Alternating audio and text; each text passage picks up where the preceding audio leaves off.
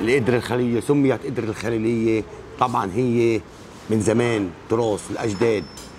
كانت القدرة الخليلية من زمان لما إجوا بدهم يسووا القدرة.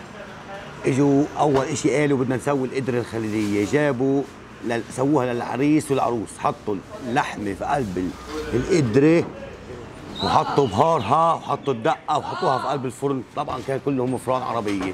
وصارت القدرة وظلت منشوقة القدرة من يوم يومها.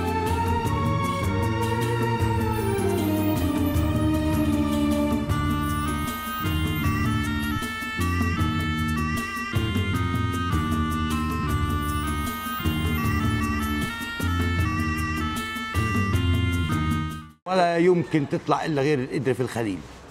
أي محل في القدس في هذا القدس بيحطوا تومة بيحطوا حمص بيحطوا في بيت لحم فيش إلا القدره الخليلية. خلص معروف عنها القدره الخليلية لأنه بتشتري القدره الخليلية في السمنة البلدية. من يوم ما إن- إن- انتشأت من مدينة الخليل وهم يقولوا القدره الخليليه بيطلعش ولا طعم فيها إلا غير بس بالخليل.